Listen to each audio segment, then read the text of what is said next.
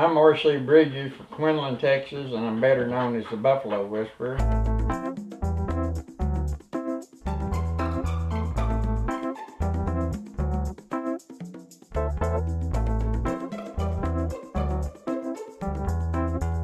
I spend more time with Wild Thing than I do with my wife.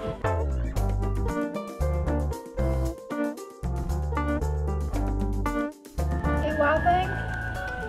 That's you.